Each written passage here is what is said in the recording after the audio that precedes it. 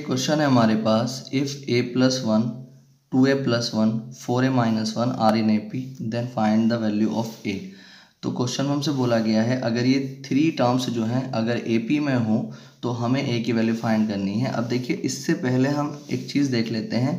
देखिए, आप एक बात हमेशा ध्यान रखें कि अगर मैं ये बोलता हूँ कि ए बी, सी या कोई भी तीन टर्म एक्स वाई जेड भी यहाँ पर ले सकते थे, कुछ भी ले सकते थे।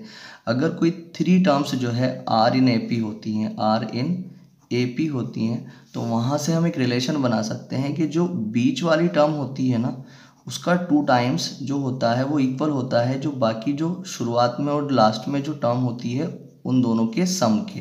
ठीक है? तो वही चीज़ हम जो है यहाँ पर यूज़ करेंगे। तो a plus one two a plus one, four a minus one, are in A P. ये तीनों की तीनों टर्म्स जो है ए पी में है तो इसलिए हम क्या लिख सकते हैं? हम लिख सकते हैं टू इंटू ये जो बीच वाली टर्म है, इसका two times two into two a plus one, ठीक है? इस टर्म का टू टाइम इक्वल होगा इसके और प्लस इसके।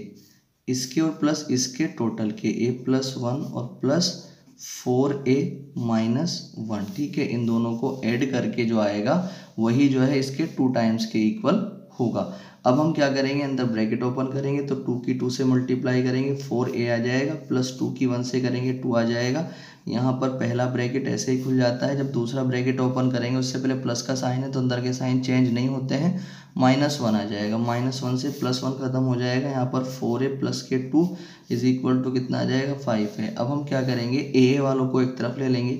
फोर ए इधर रखें आप माइनस का फाइव ए इधर आ जाएगा टू को इधर ले लेंगे, क्योंकि जो ए वाले हैं हमने उनको एक तरफ़ किया है, बिना ए वालों को एक तरफ़ कर लिया है। तो प्लस के फोर है माइनस के फाइव है तो माइनस के ए बचेंगे इज़ इक्वल टू माइनस के टू माइनस से माइनस खत्म ए की वैल्यू हमारे पास आ जाएगी टू ये इसका आंसर